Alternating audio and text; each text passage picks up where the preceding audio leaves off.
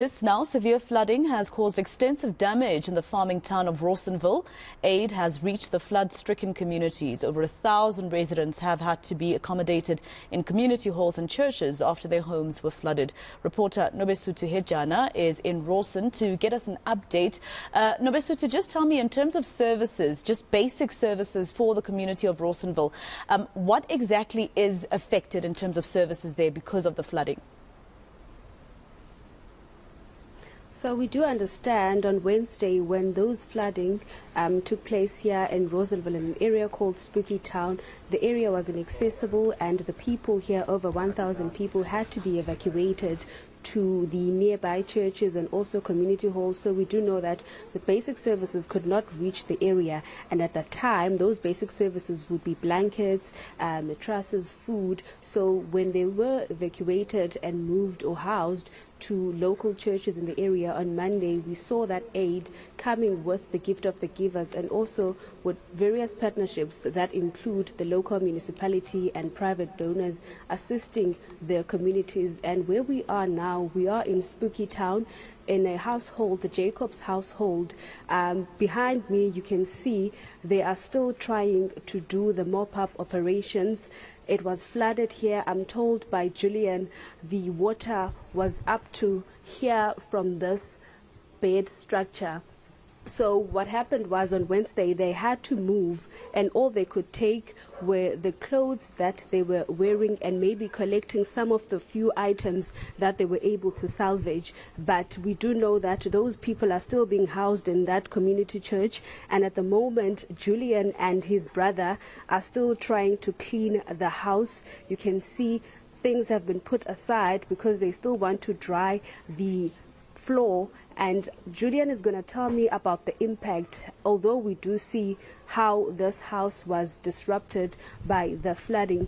Julian, just take us through on Wednesday. Obviously, you were telling me you woke up in the early hours of Wednesday morning and the house was flooded. Tell us about the impact and how it will take you, how long it will take for the family to rebuild or to get back to your feet again. Probably, probably at the moment, yes, we are still busy here.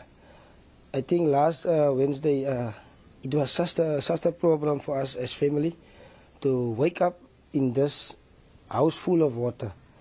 And by the moment, all we can do, we can't send our children to school. We must take them to our families to stay there for a problem, uh, problems uh, for a time. Mm. But uh, as you can see, uh, we are still busy in it, and it will take us some time, three weeks, two weeks, to clean up this house home and get our, our lives back. Mm. And I do understand some family members are with other family not too far from here because mm. we do understand there's about nine people who are staying here. Mm. Tell us about the reason why maybe some of you did not want to go to that particular um, center, the church, because you do mention that there were concerns about healthy mm. issues. We can't sleep, all of us people can't sleep in that hall because that hall is not too big. It's very big, but it's a small hall. And people are sick, we get, we get we have children and there are people that have TB, uh, such of some uh, disease of, of something. And our children, yeah, we are scared for children to get sick from other people. Mm. Tell me this morning, what are you doing this morning? Because I can still, you were telling me it will take you uh, probably two weeks or three weeks to clean. But obviously, what are you able to pick up and put aside that was not damaged? Because I can see the washing machine hoping that it's still intact, it wasn't damaged by the flooding? Yeah, I'm still busy here with the washing machine here, and even you can see my tuck shop there. I have a tuck shop. I am still busy to, to clean there, inside there. We can't do business because it's messy inside there. Mm. And, and then some of these rooms, we are busy to clean here. Mm. Tell me, obviously, some of the people were telling me from the hall that uh, usually when there is a disaster, especially in areas like Spooky Town that are close to the riverbanks, you would normally get aid from the disaster management team, which include sandbags and sand to also try to prevent water from coming to the houses. Have you received any of that? And maybe what is the plan? Yeah, I. All of the people in Spokesdorp didn't receive some sand or probably anything from the municipality. The moment when the, when the water come here, our councillor and the, the, the management of the town, municipality.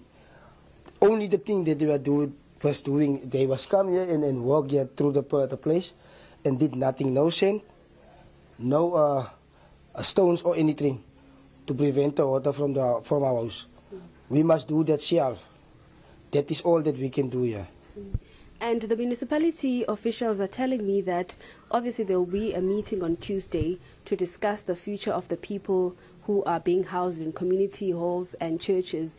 The possibilities include the permanent relocation of the people from Spooky's Town. Is it something that you people or a resident are willing to do because I do understand many of the people here they work in nearby farms so should the municipality say people must be relocated to Worcester is it something that you think you'll be able to do I won't be able to go to Worcester because my work is here and I can't go to Worcester and come that, from that side and come to, to Rawsonville to work here in Rawsonville.